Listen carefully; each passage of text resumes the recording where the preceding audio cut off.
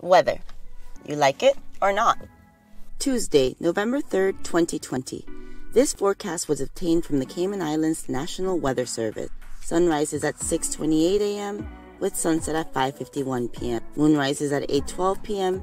and the moonset is at 9:48 a.m. We're expecting a high of 86 degrees with a low of 76 degrees. Cloudy skies with an 80% chance of showers and thunder. The wind is from the east to northeast at 20 to 25 knots with higher gusts. The sea is rough with wave heights of 7 to 9 feet, with higher swells especially along the east and south coast. A small craft warning remains in effect. The radar and satellite as of 6 a.m.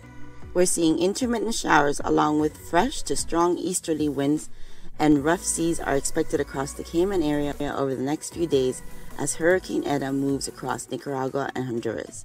The National Hurricane Center in Miami, Florida, is issuing advisories on now Hurricane Eta, which at 4 a.m. was located 13.8 north, 83.1 west, or about 395 miles southwest of Grand Cayman, with maximum winds of 150 miles per hour, and is moving west to southwest at 5 miles per hour. Your tropical outlook from the National Hurricane Center in Miami, Florida, as of 7 a.m.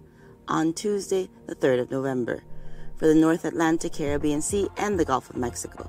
The National Hurricane Center is issuing advisories on Hurricane Eta located near the coast of northeastern Nicaragua. Tropical cyclone formation is not expected during the next five days. Eta is a extremely dangerous hurricane near the coast of northeastern Nicaragua. Life threatening storm surge, catastrophic winds, flash flooding, and landslide are expected across portions of Central America.